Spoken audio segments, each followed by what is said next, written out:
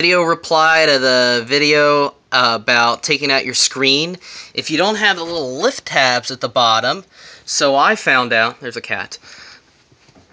you're probably to have something like these up here uh, that help sort of attach or detach to the rest of the window.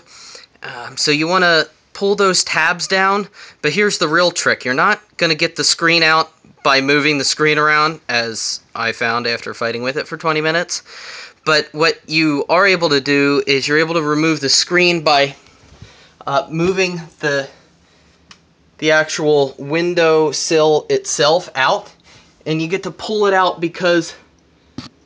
the window has lift tabs on it so if you pull these in on both sides you'll be able to pull out your window like so and then from there you'll be able to uh, shimmy out the screen through the opening that you've created pulling out your window.